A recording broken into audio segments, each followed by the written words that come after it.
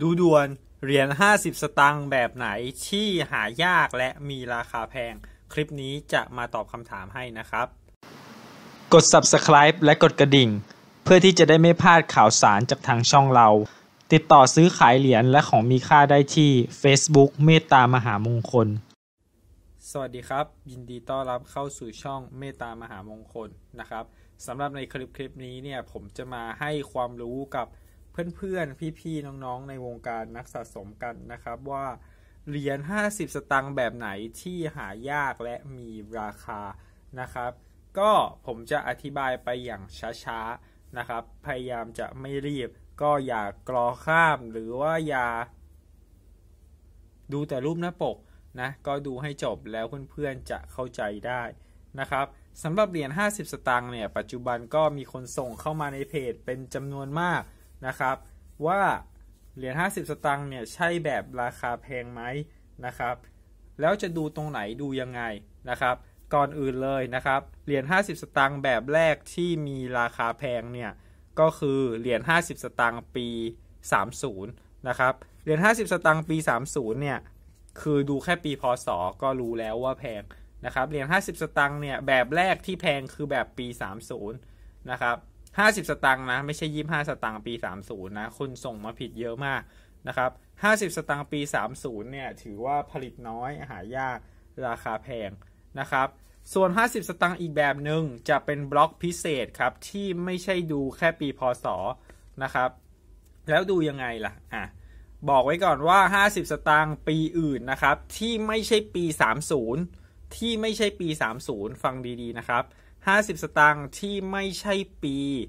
30 เนี่ย ถ้าเป็นบล็อกธรรมดาราคาคือ 50 สตางค์เท่าหน้าเหรียญเลยนะครับ แต่ถ้าเป็นบล็อกพิเศษนะครับ จะมีราคาเกินหน้าเหรียญ อ่า ก็เดี๋ยวผมจะอธิบายบล็อกธรรมดาก่อนนะครับ บล็อกธรรมดาเป็นยังไงดูตรงไหน บล็อกธรรมดาดูแบบนี้นะครับ เห็นไหมครับ ด้านหน้าของเหรียญเนี่ยหันขึ้น เห็นไหม อันนี้คือบล็อกธรรมดานะครับ เราพลิกข้างๆนะครับ พลิกข้างแบบนี้ อ่าเห็นไหมครับ ด้านหลังของเหรียญหันลงเห็นไหมพูดง่ายๆก็คือเหรียญ50 สตางค์เนี่ยบล็อกธรรมดาคือบล็อกพระเสียรกลับนะครับ ถ้าเหรียญ50 สตางค์ของเพื่อนๆท่านใดนะครับเป็นบล็อกพระเสียรกลับนะครับ ราคาคือ 50 สตางค์เท่าหน้าเหรียญเลยนะครับ เป็นถือว่าเป็นบล็อกธรรมดา เดี๋ยวผมถือถ่ายกับกระจกให้ดู เห็นไหมครับ ด้านหน้าหันขึ้น ด้านหลังหันลง อ่า ก็คือหันไปคนละทิศคนละทางกันนะครับ แล้วเหรียญ 50 สตางค์แบบไหนที่มีราคาแพง ก็คือต้องเป็นบล็อกพิเศษ คือบล็อกพัดเสียนตรงครับ ก็คือด้านหน้ากับด้านหลังเนี่ยจะต้องหันขึ้นไปในทิศทางเดียวกันเท่านั้นนะครับ อ่าผมขอใช้เหรียญนี้ยกตัวอย่างนะครับ ดูเหรียญนี้ให้ดีนะครับ เห็นไหมครับ ด้านหน้าของเหรียญหันขึ้น เราพลิกข้างๆนะครับ พลิกข้างๆ อ่าเห็นไหมครับ ด้านหลังของเหรียญก็หันขึ้นเหมือนกัน แบบนี้เนี่ยเรียกว่าเหรียญบล็อกพระเสียรตรงนะครับ แล้วดูตรงขอบนะเพื่อนๆ เห็นไหมขอบเหรียญไม่มีการเจียไม่มีการตกแต่งใด ๆนะครับอะเดี๋ยวถือกับกระจกให้ดู เห็นไหมครับ ด้านหน้ากับด้านหลังตรงกันเห็นไหมอ่าถ้าเหรียญ50 สตางค์นะครับ ของเพื่อนๆ พี่ๆ น้องๆ ท่านใด เป็นเหรียญ 50 สตางค์บล็อกพระเสียรตรงนะครับ จะมีราคานะครับอ่า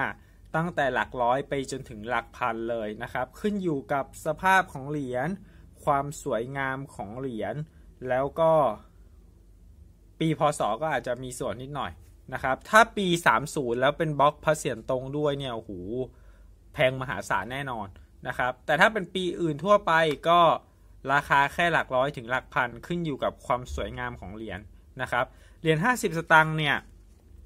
ผมสรุปให้สั้นๆง่าย ๆเลยนะครับ ก็คือถ้าเป็นบล็อกพระเสียรกับมีราคาปีเดียวคือปี 30 แต่ถ้าเป็นบล็อกพระเสียรตรงนะครับ จะมีราคาทุกปีพศนะเหรียญ50 สตางค์ที่เป็นหลังวัดแบบนี้นะครับ ไม่นับเหรียญกาญจนานะ เหรียญกาญจนาเนี่ย ถือว่าเป็นเหรียญที่ระลึกนะครับ เหรียญกาญจนาทุกบล็อก ถ้าเป็นพระเศียรตรงราคาเท่าหน้าเหรียญนะครับ แต่ถ้าเป็นบล็อกพระเศียรกับเหรียญกาญจนานะ จะมีราคานะครับเขาเรียกว่าเหรียญเออร์เลอร์คอยหรือเหรียญตลกนั่นเองนะครับ ก็ผมมาสรุปให้ฟังนะ ว่าเหรียญ50 สตางค์เนี่ย ถ้าพระเศียรกับ มีราคาแค่ปี 30 เท่านั้น นะครับ แต่ถ้าเป็นพระเศียรตรงเนี่ยก็หลายปีพศก็จะมีราคาหลักร้อยไปจนถึงหลักพันนะครับ อันนี้คือ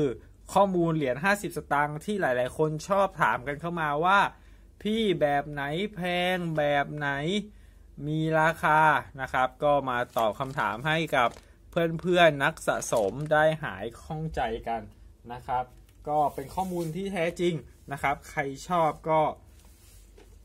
ฝากกดติดตามกด subscribe แล้วก็กดกระดิ่งให้กันด้วยนะครับ เพราะว่าเหรียญพวกนี้เนี่ยมีประวัติมีความเป็นมาทั้งสิ้นนะครับ ก็ขอให้ทุกคนเนี่ยค่อยๆศึกษาค่อยๆหาดูนะครับ เพราะว่าบ่อยครั้งเนี่ยที่นักสะสมเนี่ยซื้อ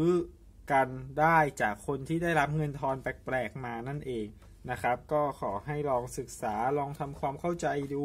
นะครับ เพราะว่าเหรียญพวกนี้เนี่ย